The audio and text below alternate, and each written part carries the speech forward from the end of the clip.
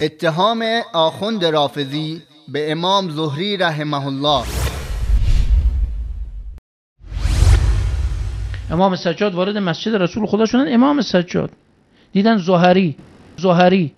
با دو نفر از همپالکی خودش کنار منبر رسول خدا. در روزه منور ما بین منبری و محرابی روزتون من ریاض الجنه هر سه چهار نفر دارن فحش میدن به امیرالمومنین و لعنت می‌کنن.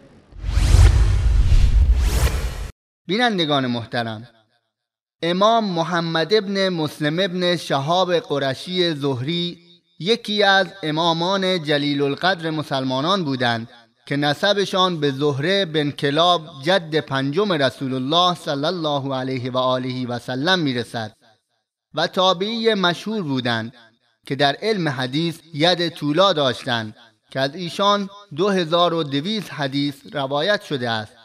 و اولین تابعی بودند که تدوین حدیث را آغاز نمودند.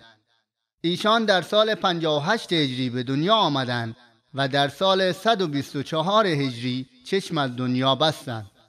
آخوندان رافضی مانند همکیشان خاورشناس خود همیشه میکوشند در افرادی تن وارد نمایند که در روایت احادیث رسول الله صلی الله علیه و آله و سلم بر دیگران سبقت گرفتند افرادی مانند ابو هریره عایشه ابن عمر انس ابن مالک و عبدالله ابن عمرو رضی الله عنهم از صحابه و امام زهری رحمه الله از تابعین.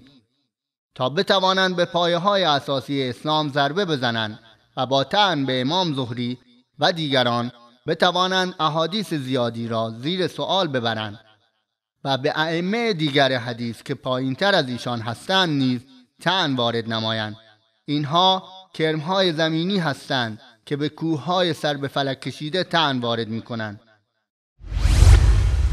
امام سجاد وارد مسجد رسول خدا شدن. امام سجاد دیدن زهری زهری با دو نفر از همپالکی خودش کنار منبر رسول خدا در روزه منور ما بین منبری و محرابی روزتون من ریاض الجنه هر سه چهار نفر دارن فحش میدن به امیرالمومنین و لعنت می‌کنن.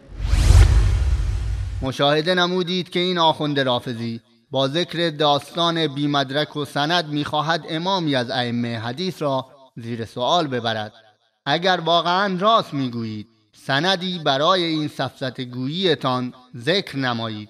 انما يفتري الكذب الذين لا يؤمنون بآيات الله هم الكاذبون فقط آنان دروغ میبندند که به آیات خدا ایمان ندارند و ایشانند که دروغگویانند.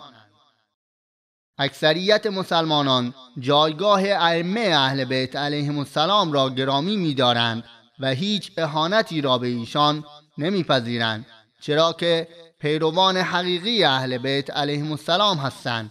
و تنها اقلیت رافضی هستند که به دروغ خود را پیرو اهل بیت می‌دانند ولیکن در حقیقت پیرو ابن سبع یهودی می باشند چگونه امکان دارد امام زهری رحمه الله اهل بیت علیهم السلام را لعن نماید در حالی که در مورد امام سجاد رحمه الله میفرماید علی ابن الحسین اعظم الناس علی منتا علی ابن حسین زین العابدین رحمه الله بزرگترین انسانی است که بر من منت گذاشته است. طبقات ابن سعد جلد پنج صفحه دویست و چهارده.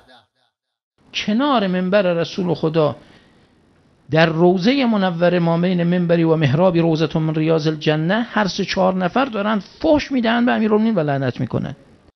حاج آقا در آخر باید تذکر داد که حدیث چنین نیست که شما خواندید بلکه نص حدیث این است. ما بین بیتی و منبری روضة من ریاض الجنه بهار الانوار جلد 97 صفحه 146 منهاج البراعه جلد 5 صفحه 246 دیدن زهری زهری.